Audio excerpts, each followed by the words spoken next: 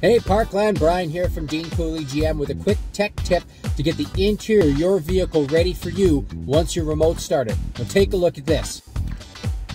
So as long as your vehicle has a factory remote start system with heated seats, you're going to want to go into your settings option right here. You're to see three options up top. We're going to stay in vehicle and then we're going to scroll down here to remote lock, unlock, and start. You just go ahead and touch that and as you go down here, you're to see remote start auto heated seats. We want to turn that on. Oh, there we go.